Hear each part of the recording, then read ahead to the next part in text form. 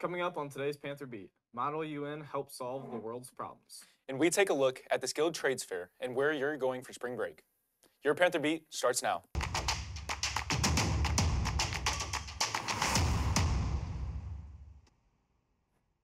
What's up, O'Fallon? I'm Mason. And I'm Ian, and this is your Panther Beat for Tuesday, March 26th. Spring break starts tomorrow. Jet hit the halls to find out your plans. What's good, O'Fallon? I'm Jet Myflow, and I hit the halls to see where you guys are going on spring break. Let's go. I'm here with Loogie Boogie. Brennan, where are you going to for spring break? Uh, I'm going to Hoover, Alabama to play baseball. Sounds like a great time, thank you. Where are you going for spring break? I'm going to Jamaica. I will be going to Louisville, Kentucky to see my family and hang out with my roommate. Uh, I'll be going to Hermann, Missouri. Miami. Mexico, man. Cancun. Hey, I'm sorry, you, you the one that didn't want to come? Um, I'm actually going to London, England. I'm going with my soccer team. We're going to go tour many soccer stadiums. We're watching a few soccer games, especially uh, England versus Brazil. Oh, should be a good matchup. Yeah, very, very big matchup. All right, thank you, Robbie. Student council council elections are coming up. If you're interested in running, you must attend a mandatory informational meeting on April 4th. Report to Smiley Room 206 at either 7:15 a.m. or 3 p.m. Visit the Student Council we- Student Council webpage for more additional details. Prom is May 11th at the Regency Conference Center in O'Fallon. Tickets are $55 each. Senior prom tickets go on sale April 2nd and junior tickets April 8th. Before you can purchase tickets, you must have a zero balance on your school fees. Be sure to pay any fees ASAP. Tickets go on sale after spring break. If you want to bring a guest to prom, be sure to turn in a guest request form. All guests must be approved before buying tickets. Pick up forms outside room 1025 or on the prom website. Seniors, do you need extra tickets for graduation? Gold Rush is auctioning off tickets. Email your bid to hattonj at oths.us. Bids will be updated each Friday. The last bid will close on April 20th at 3 p.m. Last week, over 1,500 students attended the Skilled Trades Fair. Let's take a look. Last week, students were able to pack the Panther Dome and visit 56 different booths. Okay. Um, and why why should students join the Marines? So the opportunities for the Marine Corps is immense. Whether you're trying to travel the world, go to college for free, or get real-world applications like fixing aircraft, all that is conveniently right here for you. So we're presenting for geospatial and engineering. Uh, engineering and geospatial both uh, offer a lot of uh, high lucrative uh, career opportunities.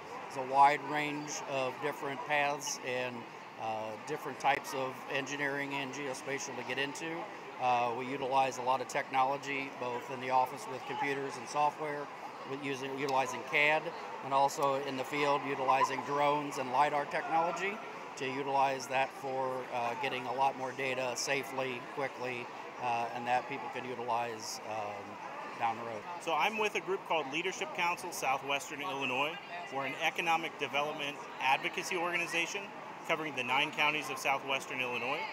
Our goal is to unite the region for growth. So today we're here in a partnership with St. Clair County. We've got these virtual reality headsets. They're loaded with simulations with uh, different career explorations. So students can get in, go through 15 or 16 different simulations. About five minutes each. They kind of give you a quick, quick overview of different career fields that they can that they can pursue after high school. Then we asked students what they thought the most interesting career was.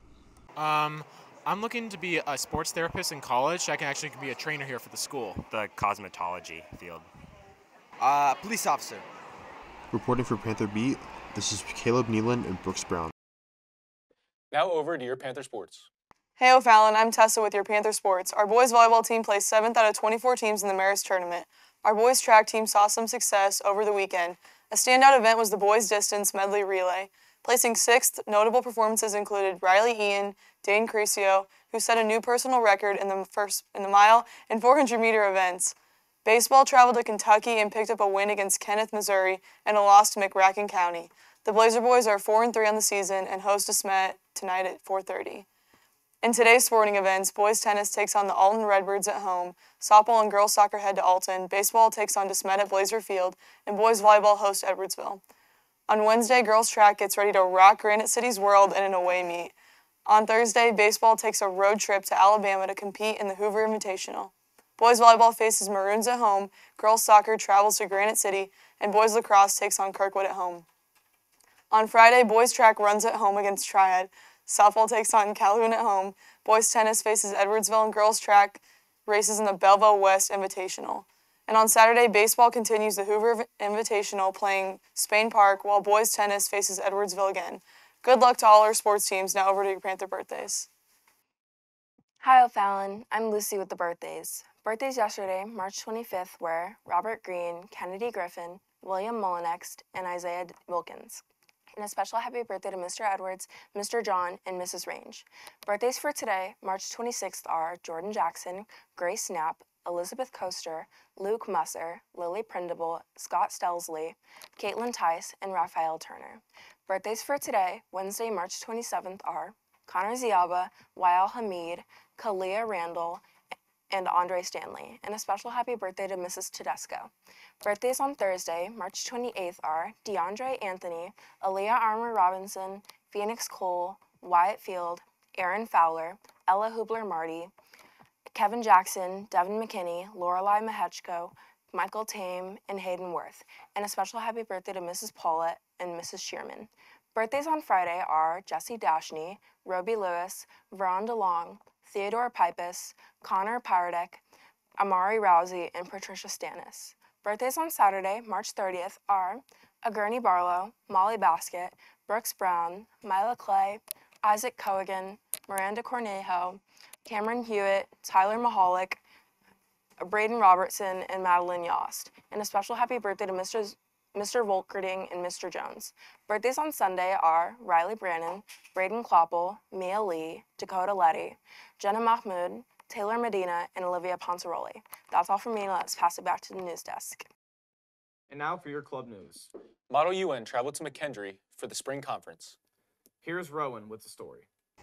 Last week, the OTHS Model UN team visited a conference at McKendree where they participated in simulated sessions with other United Nations committees. OTHS took home an award for Superior Delegation for Japan, and many students won individual committee awards. Today, I spoke with some of those winners. This was the McKendree Model United Nations Invitational. So, this was a conference where various different schools from our area, such as Triad, Mascoutah, or Althoff, come and we form into different committees, such as Third SCH, uh, First Disarmament, General Assembly, things like that. And we discuss foreign issues, write resolutions, amend them, and just have really good discussions. So in Model UN, I am a lead delegate of the 3rd Social Cultural Humanitarian Committee, or 3rd SCH. In this position, I have to edit all the resolutions from my committee and also serve as a leader in committee discussions through passing resolutions, making amendments, and just leading overall discussions. The award I won for this session was Most Outstanding Delegate of the 3rd SCH Committee. This was largely decided on by my speaking skills shown and then also my ability to represent my overall delegation of Japan.